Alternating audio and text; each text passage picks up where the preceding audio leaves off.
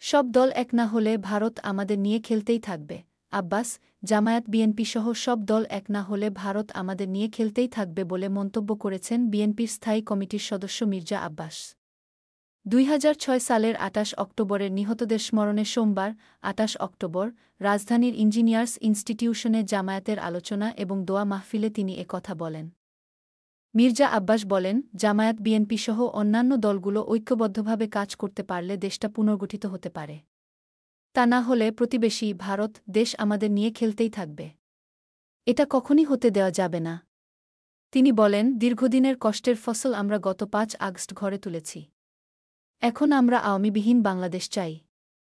আওয়ামী লীগ আর ভদ্রলোকের গণতন্ত্র কখনও পাশাপাশি চলতে পারে না। শয়তানের দোসর আওয়ামী লীগ। বিএনপির এই নেতা বলেন, আওয়ামী লীগ চলে গেছে, এটা ভেবে খুশি হওয়ার কারণ নেই।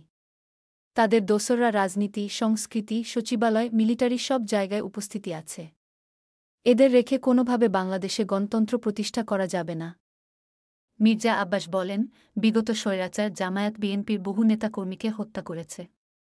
এখনও অনেকে জেলে আছে, মামলা আছে। আমার বিরুদ্ধে এখনও শতাধিক মামলা আছে।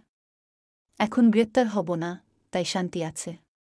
বিএনপির স্থায়ী কমিটির এই সদস্য বলেন, বাংলাদেশে এখন কোনো কিছুর অভাব নেই। শুধু চোরের অভাব পড়ছে।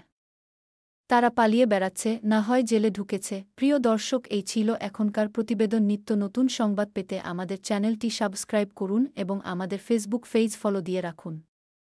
Desk report, B news Dhaka.